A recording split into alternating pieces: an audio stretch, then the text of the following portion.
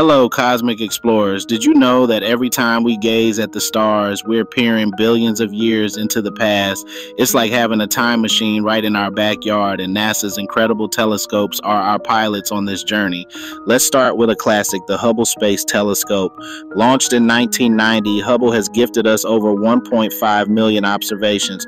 One of its most breathtaking discoveries the pillars of creation, towering columns of gas and dust in the Eagle Nebula where stars are born. It's like a stellar nursery, and Hubble's images revealed it in stunning detail, showing us the raw beauty of cosmic creation. But Hubble isn't alone. Meet its powerful successor, the James Webb Space Telescope.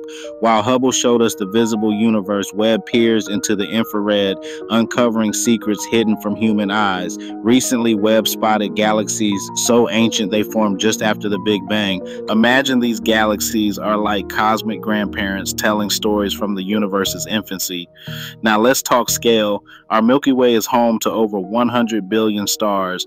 But did you know there's a galaxy out there called IC 1101? It's a supergiant over 50 times larger than the Milky Way. If our galaxy were a bustling city, IC 1101 would be an entire continent. Here's a fun comparison Hubble's deep field image, which captured thousands of galaxies in a patch of sky no bigger than a grain of sand held at arm's length, is like finding a treasure chest in a speck of dust. It reminds us that the universe is vast, mysterious, and full of wonders waiting to be uncovered. So next time you look up, remember each twinkle holds a story, and with every new telescope, we're turning the page on the greatest adventure of all the cosmos. Stay curious. Don't miss the next part of this series. Hit subscribe to see it first.